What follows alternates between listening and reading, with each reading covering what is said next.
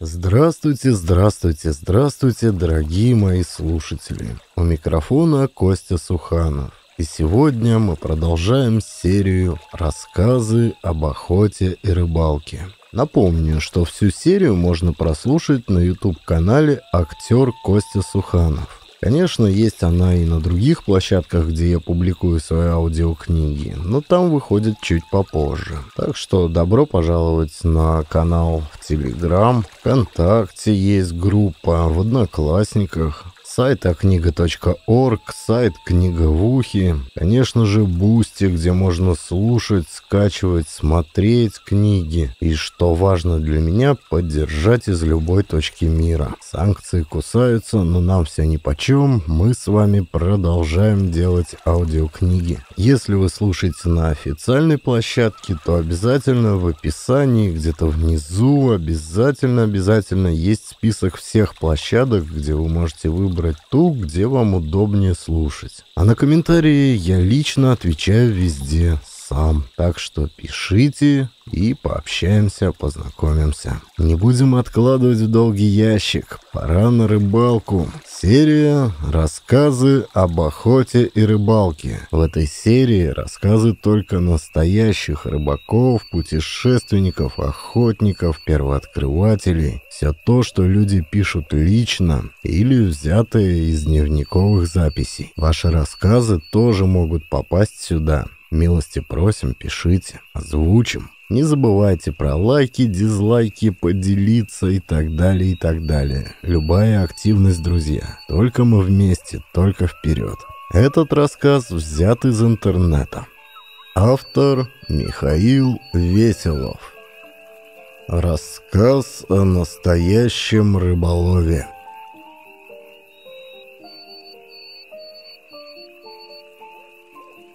Считается, что человек счастлив только тогда, когда у него есть хорошая семья, любимая работа и какое-то занятие для души, называемое теперь неприятным словом «хобби». Мой отец, Артемий Николаевич Веселов, наверное, был счастливым человеком. Крепкая семья, трое благополучных детей, а со временем и пятеро внуков – он любил свою работу преподавателя вуза и научного работника и добился больших успехов, а для души у него было старое как мир и благородное занятие — рыбалка, в котором он тоже достиг вершин мастерства в сравнении с другими рыбаками-любителями центральных областей России. Круглый год, каждую субботу с друзьями или один отец отправлялся на рыбалку со снастями, соответствующими сезону и объекту ловли. Он имел странноватое обыкновение ходить на охоту и рыбалку при шляпе и галстуке, кроме зимы, конечно, за что получил прозвище «профессор» задолго до того, как стал профессором в самом деле. В отпуск отец, как правило, в компании одного-двух друзей-рыбаков забирал забирался в какое-либо глухое место, куда за выходные не доберешься. Если ездили в отпуск всей семьей, то обязательно на водоем. Селигер или Ака, Рыбинское море или Дон, или маленькая речка Касть на родине в Ярославской области. Самые первые воспоминания об отцовской рыбалке относятся к лету 1940 года. Мы всей семьей снимали домик в селе на берегу Дона. Название села не помню, но помню разговоры взрослых, что возле села есть в реке ямы, а в тех ямах живут огромные самы. Самы эти таковы, что таскают утят и гусят, да и взрослую птицу тоже могут утащить. И вот однажды рано утром за окном раздался шум и крик. Мама, сестра и я выбежали из дому, во дворе было полно народу. Посреди толпы стояли отец и его приятель. У них на плечах лежал шест, а на шесте висел сом. Хвост сама волочился по земле. При взвешивании рыбина потянула на 40 килограммов. Тот же день сама съели, причем хватило чуть не на все село, а на юге маленьких сел не бывает. Еще один случай с крупным самом произошел у отца спустя лет 30. Я в нем, к сожалению, не участвовал, а обстоятельства знаю из рассказа отца. Дело было в начале марта на реке Сейм под Курском. В это время на живца хорошо берет щука. Отец прорубил лунки, расставил жерлицы, разновидность донной удочки, и сидит, таскает окуньков дергачкой. На одной из жерлиц упал флажок, поклевка. Отец подбежал к лунке, схватил леску, подсек и... Ему показалось, что леска привязана к стене. Затем последовал сильнейший рывок, леска обожгла руки и стремительно исчезла в проруби почти на всю длину. А это метров тридцать. Рыбаков на льду залива в тот день было много. Отец окликнул ближайшего. «Помоги, мол». Сосед подбежал. Отец в это время с большим трудом выбирал леску. Последовал новый рывок, и опять снасть лишь чудом не исчезла подо льдом. Сосед привязал конец лески к буру и положил его поперек лунки. Сам схватил пешню и принялся расширять прорубь, так как уже было ясно, что на крючке что-то очень крупное.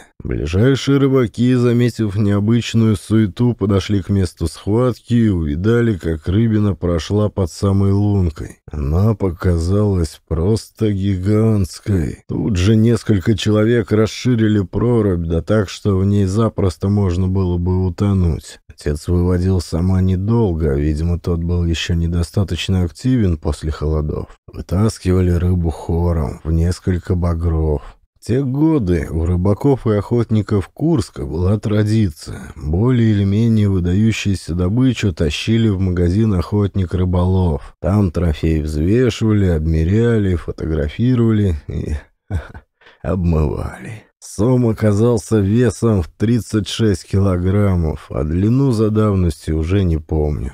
Отцовское искусство ловить рыбу помогло нашей семье выжить в 1942-43 годах. Мы были эвакуированы из Москвы в Ульяновск. Значит, вот она Волга, шириной в полтора километра. Отец при малейшей возможности пропадал на рыбалке, которая из развлечения стала источником пропитания. Благодаря рыбе трое маленьких детей, младшая родилась в начале 41-го, не только выжили, но и более или менее сохранили здоровье. Рыба была превосходной. Стерлить удавалось есть от пуза. Она ловилась в основном весной и осенью, когда у нее наступал жор. Ничего более вкусного, чем жареная стерлядка, я никогда не ел. Чтобы найти мой канал с аудиокнигами на Яндекс.Дзен, достаточно ввести аудиокниги. Читает актер Костя Суханов. В начале 44 -го года отца перевели на работу в освобожденный Курск. С тех пор он рыбачил на водоемах Курска и соседних областей. Реки Севень, Тускарь, Сош, Рать и Десна, а также озера и Старицы, а в них щуки, окуни, лещи, головли, налимы. Именно налим, на мой взгляд, занимает второе место после стерляди в гастрономическом ряду. Лучше всего налим жареный, особенно налимья печень. Отец ловил налима весной и осенью. Весной, когда реки входили в свое русло после разлива, примерно с середины апреля до середины мая, и осенью, перед ледоставом, с середины октября и до упора. У отца на эту ловлю была отработана несложная, но успешная технология. Он ставил подпуска. Эта снасть представляет собой метров 30 шнура с грузом на конце. От самого груза на поводках через каждые полтора метра размещены крупные налимьи, крючки, всего штук 7-8. Наживка — дождевые черви. Их собирают ночью на лугу, на газоне и в других подходящих местах. Лучше всего во время или после дождя. Ловят налима ночью. Для этого выбирают песчаный пляж или что-то подобное. Раскладывают подпуск вдоль берега, насаживают червей и затем забрасывают. Этот момент требует опыта и сноровки. Забросить надо на всю длину, но так, чтобы не сорвалась наживка. Следовательно, бросок должен быть сильным, но не резким. Часа через два-три подпуска проверяют, вытягивая на берег, снимают добычу, поправляют наживку и забрасывают снова. Почему-то именно на налиме и рыбалке часто случаются всякие происшествия, смешные и не очень. Однажды во второй половине октября отец ловил налимов недалеко от Курска на Семе. Было ему тогда 55 лет. Он был один, но так ему даже больше нравилось. Оставил штук 20 подпусков с песчаного пляжика на луговом берегу реки. Чтобы охватить большую площадь дна вдоль противоположного берега, он уложил удлиненный вариант снасти, так называемый перемет. На концах перемета грузы, а на поверхности поплавок-маяк то время у отца была ярко-желтая трофейная надувная спасательная лодка с немецкого самолета. Она была одноместная, весила не более килограмма, но была при этом прочной и очень нравилась отцу. Он берег ее и пользовался ею редко. В тот день все шло как обычно. Отец дважды за ночь проверил подпуска, перемет ночью не трогал. Утром выбрал снасти, сложил сумку с рыбой, фонарь летучей мыши и рюкзак в лодку и поплыл снимать перемет. Дело в том, что возвращаться домой было гораздо ближе по противоположному берегу, заросшему мелколесьем. Дальше все случилось как в кино. Только отец вытащил первый груз, как лодка лопнула по шву почти по всей длине. Отец, как был в шляпе, плаще, ватнике и резиновых сапогах, очутился в реке. Вокруг плавали снасти, рыба, снаряжение и останки лодки. Ощущение легко себе представить. Октябрь, 8 утра, вода и воздух около плюс 5. На пару километров вокруг ни души. Хорошо, что до берега недалеко. Из-за температурного шока отец даже не успел испугаться. Он быстро скинул сапоги, стянул плащ и телогрейку, доплыл до берега, разделся и принялся собирать все имущество. Методично достал все, включая пойманную рыбу, уплывшую по течению, и вещи, ушедшие на дно. Даже злополучную лодку вытащил. Разжег костер, отжал одежду, подсушился и бегом к шоссе. Он даже не простудился. Обошлось. Но никогда больше не пользовался надувной лодкой. Вот такой вот отличный рыбацкий рассказ. А как вам, дорогие слушатели? Пожалуйста, комментарии. Отвечу лично.